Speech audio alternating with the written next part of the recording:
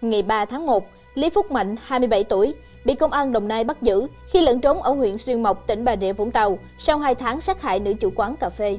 Theo điều tra, ngày 30 tháng 10 năm 2020, Mạnh vào quán cà phê của người phụ nữ 42 tuổi, quê Bến Tre, tại xã Xuân Trường, huyện Xuân Lộc uống nước.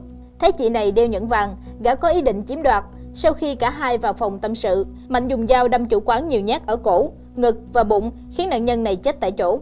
Gây án xong, Mạnh lấy nhẫn vàng rời khỏi hiện trường. Mạnh đang bị điều tra hành vi giết người và cướp tài sản.